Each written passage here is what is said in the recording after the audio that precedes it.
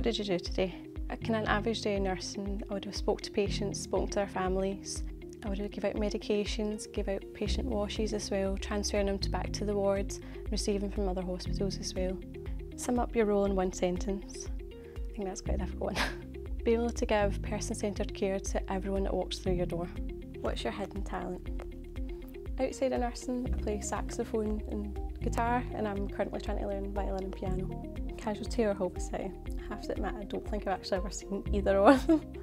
Bit of a Grey's Anatomy fan, I have to admit. True to my heart, indeed. what makes you smile at work? The people you work with, 100%. Like working with these people, you work with them more than you see your own family. And when you have an absolute laugh with someone, you need to be able to laugh like that in a kind of area you work in. What do you say to students interested in this field?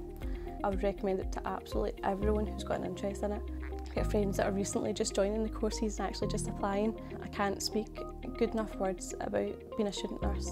It's a hard job, but it's worth it 100% at the end of the day.